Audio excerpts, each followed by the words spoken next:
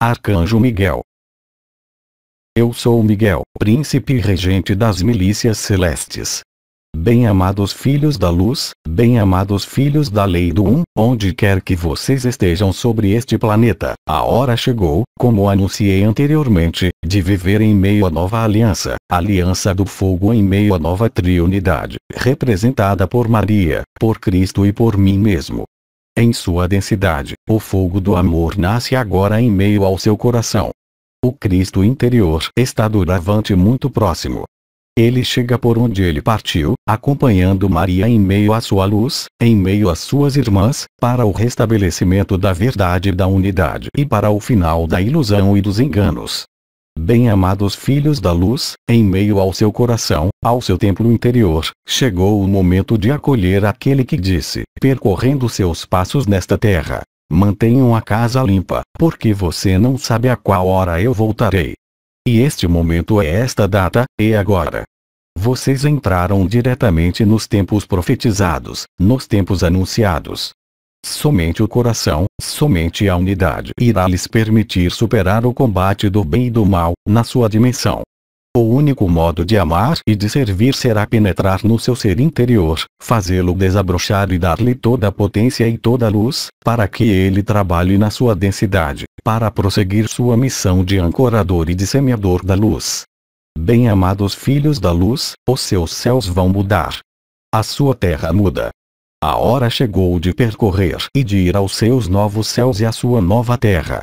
Resta receber e recolher, neste planeta, como no seu ser, as últimas chaves metatrônicas que permitem a instalação, a manifestação e a concretização da cruz no céu, anunciada por inúmeros profetas. A hora é para o retorno da luz, para o final irremediável dos enganos. O reino de Satã toma fim, agora. Não há que dar data, porque a data é agora o conjunto do que foi anunciado, profetizado, visto pelos visionários, e agora. Resta-lhes refinar a sua preparação interior, despertar-se dentro da sua verdade, a fim de se prepararem para juntar-se à sua nova morada.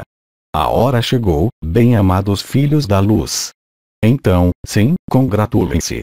Acolham aquele que vem em majestade, ele está de volta entre vocês entre vocês, não querendo dizer em um corpo de carne, mas, sim, no seu céu, em breve visível aos olhos de todos.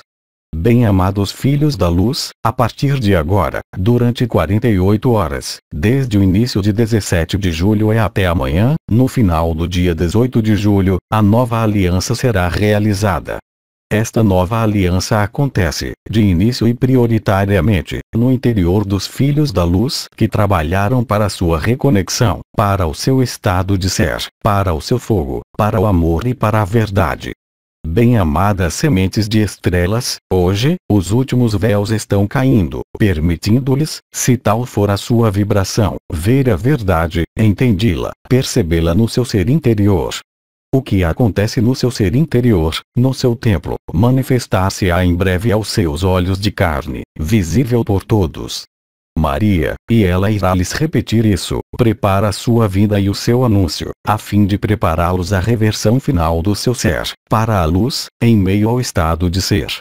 Bem-amadas sementes de estrelas, a hora é para a alegria interior, qualquer que seja a desordem deste mundo, porque está em vocês o estabelecimento em meio à sua alegria, em meio à sua vibração, que vocês vão assumir e portar a luz servindo Cristo.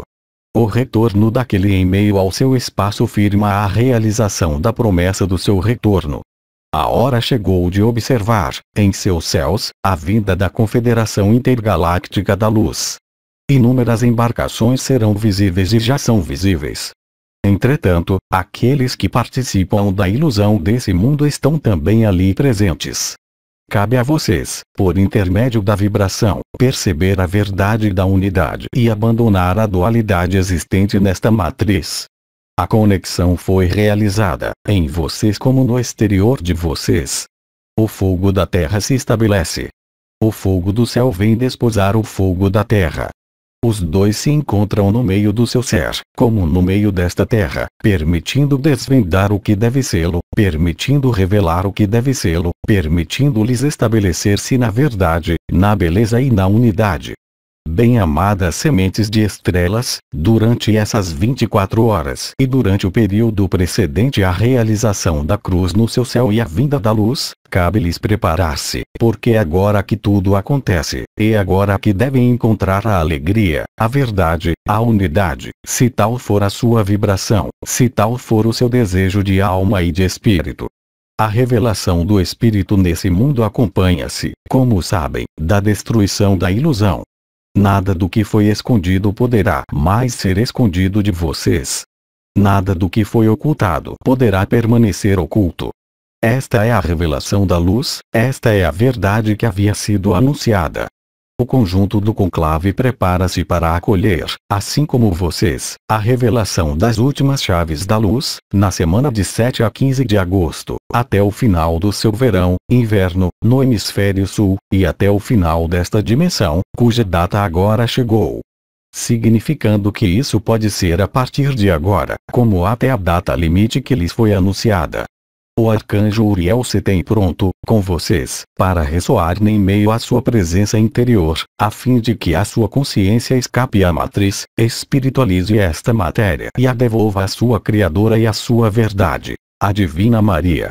Bem-amados filhos da luz, a preparação, como sabem, é vibratória. Ela diz respeito ao estabelecimento da sua consciência em meio à nova vibração, em meio aos novos céus e à nova terra, o parto da Terra se desenrola atualmente sob os seus olhos. Ela está nascendo, renascendo, em meio à sua nova dimensão. Alguns de vocês irão acompanhá-lo, outros irão recuperar a sua morada de eternidade, em meio à sua consciência liberada, em meio à sua dimensão estelar. Cada um, cada ser, cada filho, cada ser humano vai aonde irá conduzi-lo à sua vibração, aonde irá conduzi-lo à sua própria luz. Não pode ser de outro modo. Alguns de vocês irão servir Cristo nas últimas etapas de preparação. Bem-amados filhos da luz, regozijem-se, porque a hora chegou de viver o porquê vocês estão aí, o porquê vocês vieram, não desde os tempos em que vocês são prisioneiros desta matriz, mas, sim, em meio a esta vida que assinala sua liberação. A hora é para a liberdade, a hora é para a unidade, a hora é para a consciência unificada e esse momento é agora. Assim, eu selo em vocês, por toda parte sobre o planeta, a nova aliança, aquela que lhes permite realizar a nova Eucaristia unificando, em vocês, a presença de Cristo, Miguel e Maria, dentro da verdade reencontrada, dentro da consciência unificada, Bem-amadas sementes de estrelas, a hora chegou de abrir e fusionar sua tripla radiância em meio à sua unidade, na presença de Maria, de Cristo e de Miguel. Nós estamos com vocês. Nós estamos em vocês. O único lugar onde nos encontrar é dentro do seu coração. Os sinais da terra elevam-se para o céu, a fim de festejar esta nova aliança como se deve. Em meio à verdade reencontrada, em meio à nova unidade, as vibrações da luz penetram o seu sistema solar e lhes permitem doravante viver na unidade, se tal for a sua escolha. É-lhes necessário, para isso, olhar com clareza as zonas de sombra que permanecem e que deverão ser aclaradas pela luz. Assim, vocês poderão fazer sua palavra de Cristo. Eu sou o caminho, a verdade e a vida. Eu sou o Alfa e o Ômega, eu sou aqui e agora, em meio à minha presença revelada, em meio ao estado de ser. Nunca mais a falsificação poderá iludi-los e enganá-los, porque a clareza será a sua situação diária. Mas ter a clareza exterior passa também pela clareza interior. A limpeza se faz, a casa torna-se limpa para acolher o filho ardente do Sol e o conjunto da Confederação Intergaláctica surgindo pouco a pouco, em seus céus, em vários lugares deste planeta. Tenham-se prontos, porque a hora chegou. Tenham-se prontos, porque agora. Não há outro além do agora. Não há outro tempo do que agora. Esta é a verdade da luz revelada. Esta é a sua herança. Esta é a promessa que vocês fizeram. Nós viemos apresentar-lhes o que vocês são. Cabe a vocês aceitá-la, integrá-la e se tornar isso. Aí está bem amados filhos da luz, as poucas palavras, porque há, mais importante do que as palavras, a vibração que lhes transmitimos e que, pela primeira vez, nesse dia, reúne a presença de Cristo, Maria e Miguel, em sua presença, em meio ao conclave, em meio a esta terra, como em meio às forças da confederação, reunidas nesta ocasião. Eu voltarei, quanto a mim, assim como vocês podem me chamar todos os dias, de maneira mais formal, para anunciar-lhes uma série de coisas, assim que a energia de Kirist estiver instalada em meio à sua presença a si mesmo, uma vez realizado o anúncio de Maria, para o que vocês denominaram a minha festa. Eu voltarei, naquela ocasião, de maneira formal, para esta festa, às 21 horas, hora francesa, para livrá-los da sua ilusão, se tal for o seu desejo, inteiramente.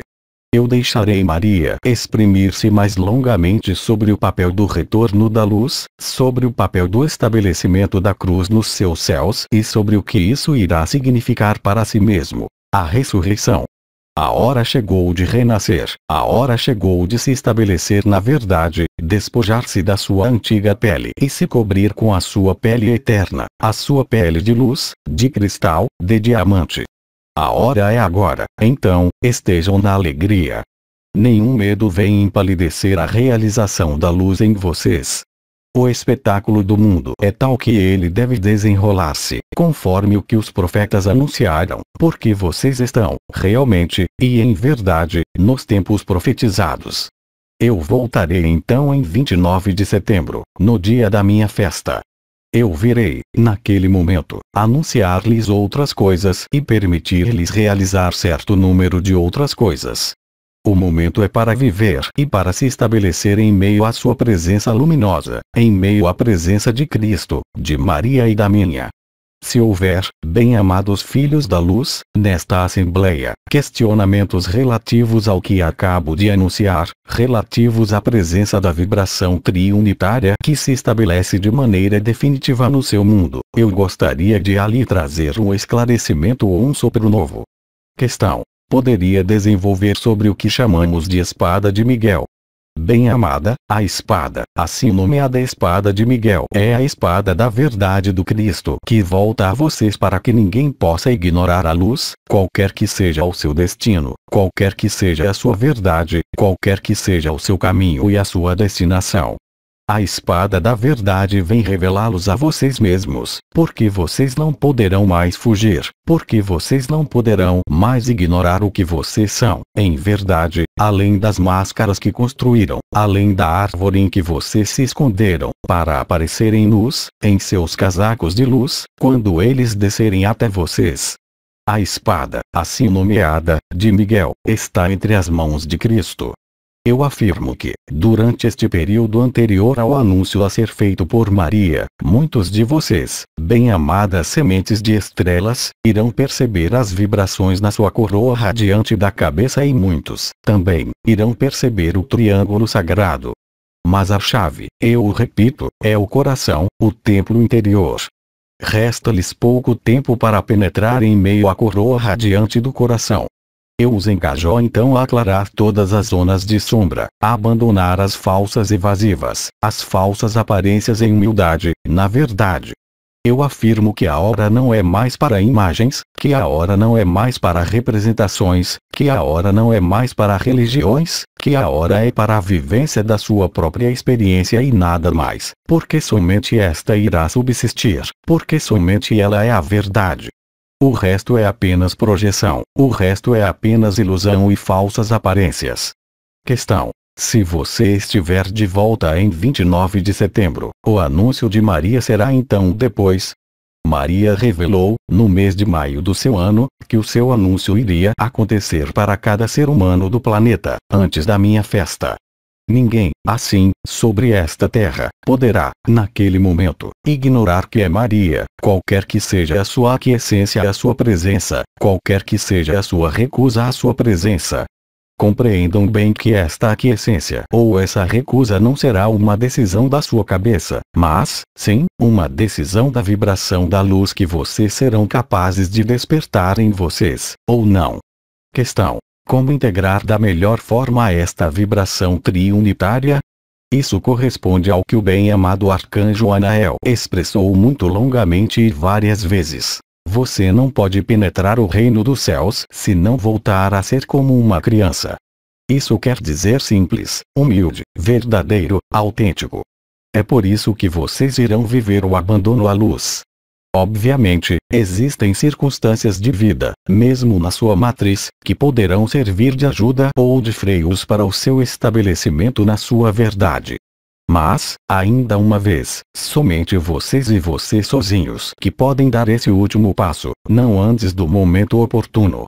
Nós os engajamos solenemente para não mais aderir a qualquer crença, a fim de tornarem-se vocês mesmos, na sua verdade, e para seguir esta verdade e nada mais.